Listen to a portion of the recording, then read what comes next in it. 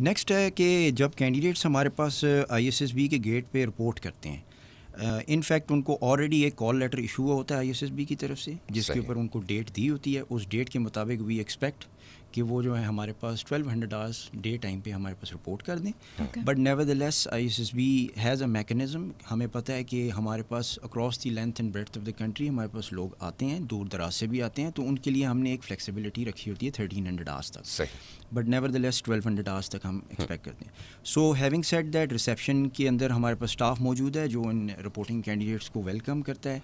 Welcome हाँ। करने के बाद शॉर्टली उनके वहाँ पे डॉक्यूमेंट्स वगैरह चेक हो जाते हैं briefly followed by allotment of chest numbers जो कि throughout the next four days जो यहाँ मौजूद होते हैं, वो उनकी आइडेंटिटी में शामिल हो जाते हैं। उसके बाद हम उनको, उनके रूम्स अलॉट कर देते हैं। रूम्स अलॉट करने के बाद उनको, उनके रूम्स में गाइड कर दिया जाता है।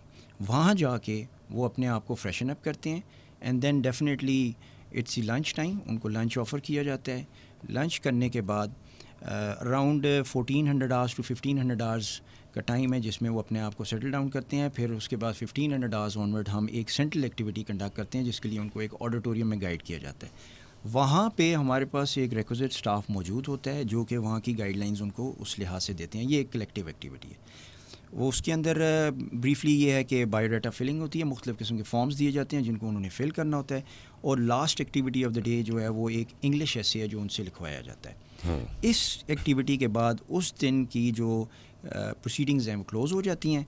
हम कैंडिडेट्स को वापस अपने रूम में भेज देते हैं जहाँ पे जाके वो अपना डिनर कंज्यूम करते हैं। और यहाँ पे भी मैं मेंशन करना चाहूँगा कि since I S S B की एक बड़ी हेक्टिक और चैलेंजिंग इन्वायरमेंट तो है जिसमें आपने मुख्तलिफ़ किस्म टेस्ट से गुजरना होता है। But on the other side I S S B ने एक कंड्यूसिव इन्वायरमेंट भी शेप अप किया हुआ है in the form of mess gaming arena है जिसके अंदर आपके पास इंडोर गेम्स हैं। हमारे पास बहुत अच्छा कैंडिडेट्स के लिए कैफ़े मौजूद है जहाँ वो बैठ सकते हैं अपने लेजर टाइम में और अपने इर्द गिर्द के जो उनके एस्पायरिंग कैंडिडेट्स हैं उनके साथ मिल के और एक दूसरे के साथ लीड लेके बातचीत okay. कर सकते हैं। तो that is the first day which we close